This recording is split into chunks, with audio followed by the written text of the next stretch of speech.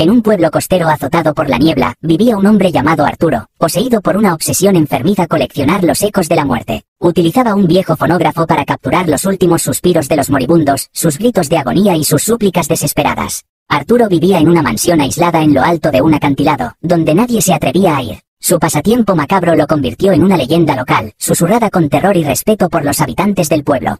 Un día, un joven médico llamado Tomás, intrigado por las historias sobre Arturo, decidió visitarlo. Al llegar a la mansión, Tomás se encontró con un hombre pálido y demacrado, con ojos que reflejaban una profunda oscuridad. Arturo lo invitó a entrar y le mostró su colección de fonógrafos, cada uno con una etiqueta que indicaba la fecha y el lugar de la grabación.